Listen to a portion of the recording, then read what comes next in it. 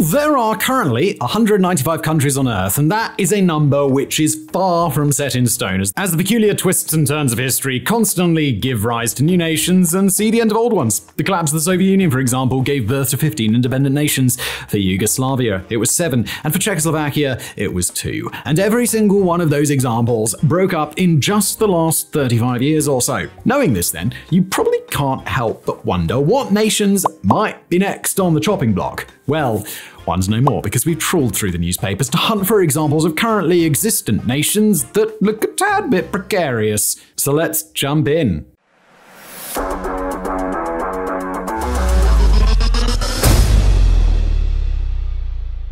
Hello, everybody. Just before we continue in today's video, have you ever found yourself caught in the age old dilemma? Boxers too loose, briefs too tight? Well, fret not, because today's sponsor has got your back, or I guess I shouldn't say your back, I should say your paint.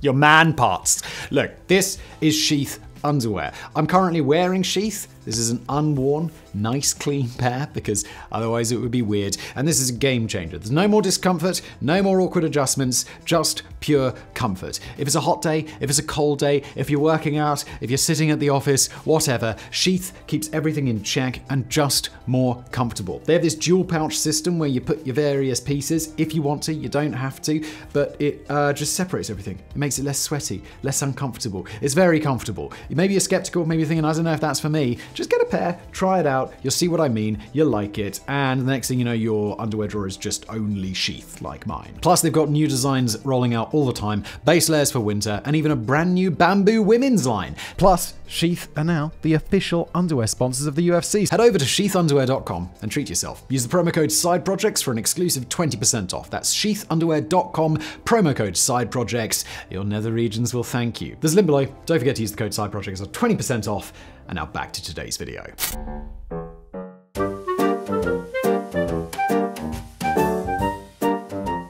First country that may not exist in the future is none other than the United Kingdom of Great Britain and Northern Ireland. There stands the very real possibility that in the future, Northern Ireland may break away from the Union and reunify with the Republic of Ireland. The current division of the Islands of Ireland dates back to the 20th century, when, after losing a bloody civil war that raged between the years 1919 and 1921, the British government was forced to relinquish control of the Catholic majority areas in the south, while it retained control of those which were majority Protestant in the north, thus creating the current division. Many in the then newly independent Irish Free State, now called the Republic of Ireland, were none too chuffed about this state of affairs, to put it lightly, and they immediately began politically lobbying and militarily fighting to see Ireland united as an independent state free from the control of London. The process proved a difficult one, however, as Northern Ireland was, by and large, staunchly unionist and had the full support of London both politically and militarily. This was all supposedly put to bed by the Good Friday Agreement of 1998, a unilateral political declaration that brought the martial aspect of the disagreement, known as the Troubles, to an end, and de facto also supposedly settled the border dispute politically. For a while, that state of affairs was all fine and dandy. More or less, anyway. There was still the odd bombing and shooting here and there, but largely the job was done. All of that changed, however, with the Brexit referendum of 2016, which saw the UK vote to leave the EU and stirred up all manner of calamities over the border, chief among them, which was the possibility of a hard border forming between Northern Ireland and the Republic of Ireland, which would have been a violation of the Good Friday Agreement and a point of major disapproval from many in both the North and the South. Supposedly, this was all solved by the Northern Ireland Protocol, which was adopted in 2021 and effectively excluded Northern Ireland from the UK's customs border border, allowing the open border between the two countries to remain. For some, however, the protocol did not placate their concerns, and now many say that the Brexit vote opened Pandora's box on Irish unification, and that it is only a matter of time until the two countries formally merge. Further fueling this is demographic changes within Northern Ireland, as the size of its Catholic population is slowly but surely creeping up, with 2021 census data showing that 42% of the country identified as such, which is up from 40.8% in 2011 and 40.2% in 2001. Sure, the change is slow, but given the fact that Irish Catholics are more inclined to support reunification and independence on average, one naturally can't help but wonder if the matter of Irish reunification may be on the cards once again. And then there's the matter of Scottish independence, which is a whole other kettle of fish that threatens to tear the UK apart. Scotland itself merged with England and Wales with the 1707 Act of Union, forming the first iteration of the UK as we know it today, the Kingdom of Great Britain. The Scottish National Party, SNP, founded all the way back in 1934, finds the Union rather objectionable, and as a result, it is a party with a single purpose to secure Scottish independence, and given the fact that it currently holds 63 of 129 seats in the Scottish Parliament and 43 of the 59 Scottish seats in the House of Commons in Westminster, it's fair to say that their platform has plenty of support among the Scottish people. They managed to secure a referendum on the matter back in 2014, which they lost by the skin of their teeth, with it returning a verdict of 44% in favour of independence and 55.3% in favour of the status quo. This seemingly settled the matter. But then, just like with Northern Ireland, the matter of independence was suddenly back on the cards in 2016 thanks to the Brexit referendum, and London has yet to put that particular genie back in its bottle, with the SNP constantly calling for another referendum in the years since, which they have dubbed IndyRef 2. Off the back of this, the SNP, in coalition with the Scottish Greens, who also support independence, achieved a majority in the 2021 Scottish Parliament election, the specific results of which we discussed earlier. The coalition interpreted this as a cast iron mandate for a second referendum. Despite this, the UK government maintained its stance that now is not the time for another referendum, with the Secretary of State for Scotland suggesting that a referendum should only be considered if polls consistently show 60% of Scots in favour of it. Undeterred, Nicola Sturgeon, the former leader of the SNP and First Minister of Scotland, announced plans to hold another referendum on the 19th of October 2023, but this was halted by a UK Supreme Court ruling in November of 2022, which stated that the Scottish Parliament does not have the unilateral power to hold an independence referendum without the consent of the Westminster Parliament. In response to this, as it then found itself with no other option to secure independence, unless it wanted 1776 to commence in the Scottish Highlands, the SNP then shifted its strategy, suggesting the next UK general election would serve as a de facto referendum on Scottish independence, an election that is currently penned for no later than January 2025. So then, between the lingering perils of Northern Ireland and Scotland, it seems fair to be just a tad sceptical on the UK's ability to survive the 21st century.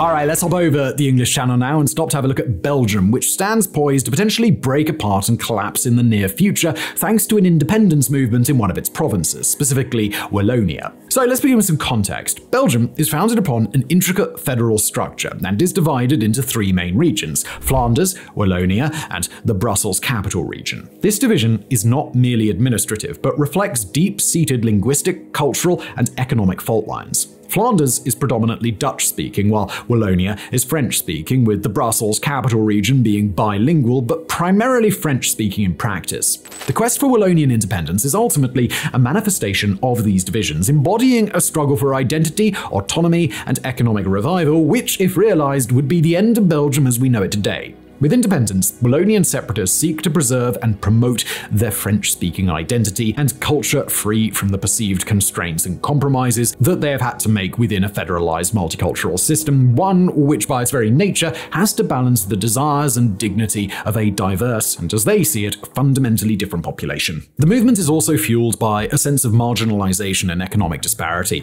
Historically, Wallonia was Belgium's industrial heartland, but as the 20th century progressed, its industries began to decline. This industrial downturn marked the beginning of a shift in economic power towards the more prosperous north, particularly Flanders, which has since experienced robust growth thanks to its modern industries and the port of Antwerp, a critical hub for international trade. This economic disparity is evident in the numbers. For instance, the northern Flemish economy is expected to grow by 1.4% in 2024, with projections indicating further acceleration to 1.7% in 2025. In contrast, Wallonia's growth was forecasted at a slower pace of 0.9% for 2024. This economic disparity is further evidenced by the difference in foreign investment trends. In 2022, Flanders attracted 160 foreign investment projects, marking a 13.5% increase from the previous year, while Wallonia saw a sharp decline of more than 40% in foreign investments, receiving only 27 projects, the lowest number in the past decade. Employment rates and labour market dynamics illustrate the economic gap further still.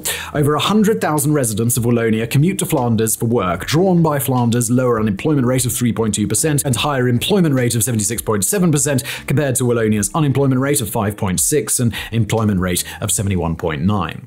This interregional mobility underscores the economic challenges faced by Wallonia. There's, there's basically no one commuting the other way. These economic shifts have contributed to feelings of neglect and marginalization among Wallonians, exacerbating the call for independence. Proponents of Wallonian independence argue that autonomy could allow for policies better suited to addressing Wallonia's specific economic challenges and revitalizing its economy. But is anything going to come of this? Well, with a new federal election on the cards in June of this year, Time is absolutely going to tell.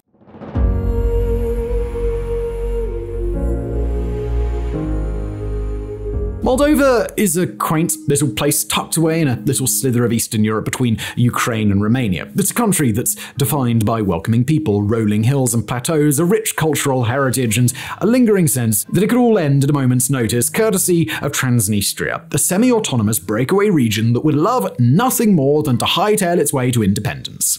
Transnistrian independence and its implications for Moldova is a complex issue rooted in historical, cultural, and political factors. The desire for independence in Transnistria, a sliver of land between the Dniester River and Moldova's eastern border with Ukraine, can be traced back to the dissolution of the Soviet Union. As Moldova moved toward independence and leaned towards Romanian cultural and linguistic ties, Transnistria, with its significant Russian and Ukrainian populations, sought to maintain its Soviet era identity and ties with Russia. This led to a short but intense conflict in 1992, after which Transnistria established a de facto independence, albeit one not recognized by by the international community, including Moldova. Transnistrians, many of whom identify as Russian or Ukrainian, fear cultural erasure through assimilation into a Moldovan state that they perceive as fundamentally Romanian. The region's leadership has leveraged these fears to maintain a distinct identity from Moldova, emphasizing Soviet symbols and the Russian language in public life. Economically, Transnistria has relied heavily on support from Russia,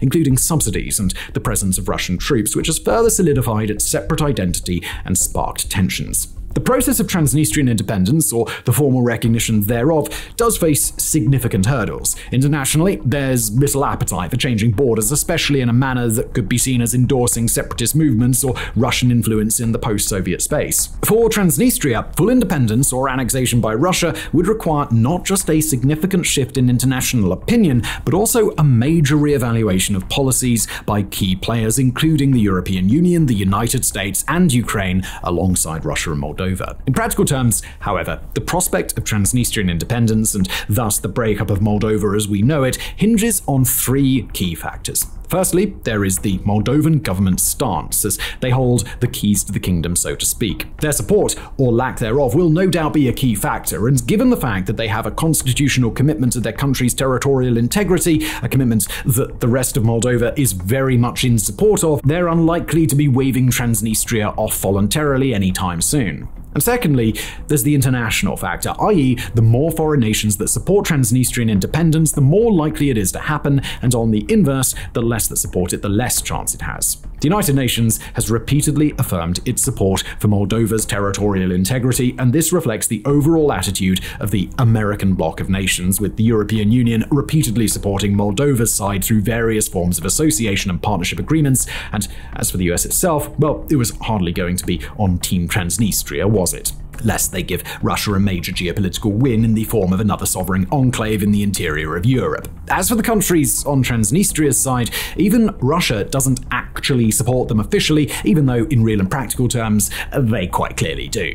Only Abkhazia and South Ossetia officially support independence, and they themselves are both unrecognized splinters of Georgia, so hardly a mighty international coalition. And finally, there is the Russian factor, which is so significant that it deserves further discussion in and of itself itself separate from the rest of the international factor. As we've already said, they aren't officially involved with Transnistria, but in reality, all of Transnistria's in vogue politicians have very cordial ties with Russia to such an extent that some would label them a puppet government. Further to this, Russia also maintains an unofficial but very much real military presence in Transnistria, one sufficient enough that in March of 2022, the Parliamentary Assembly of the Council of Europe recognized Transnistria as a Russian occupied territory.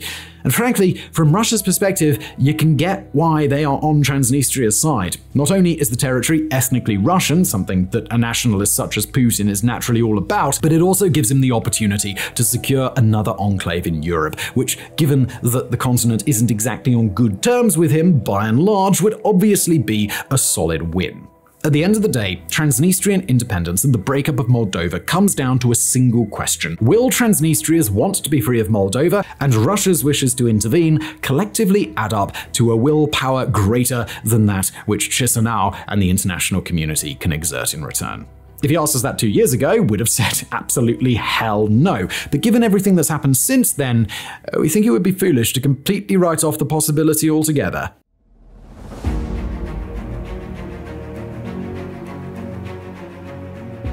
For our final chapter today, let's mix things up a bit and look at a country that may well not exist in the future, not due to any political turmoil and instability, but instead due to climate change the Maldives. An archipelago of more than a thousand islands in the Indian Ocean, the nation is renowned for its extraordinary beauty with white sandy beaches, turquoise waters, and vibrant coral reefs, all accurately being the images that we conjure up in our minds when we think of the nation. But further to these headline characteristics, the geography of the Maldives is defined by another characteristic. It is really, really flat, and that's where the problem comes in. The whole country has an average elevation of just 1.8 meters above sea level. This makes it the lowest lying country in the world by quite a margin, with the next lowest lying country, Qatar, coming in at 28 meters. This makes it kind of seem like Nepal compared to the Maldives. Such a minimal elevation puts the islands at a very real and worryingly immediate risk of being submerged as sea levels rise thanks to climate change. The rates at which the seas are rising, and thus the date at which the Maldives will disappear,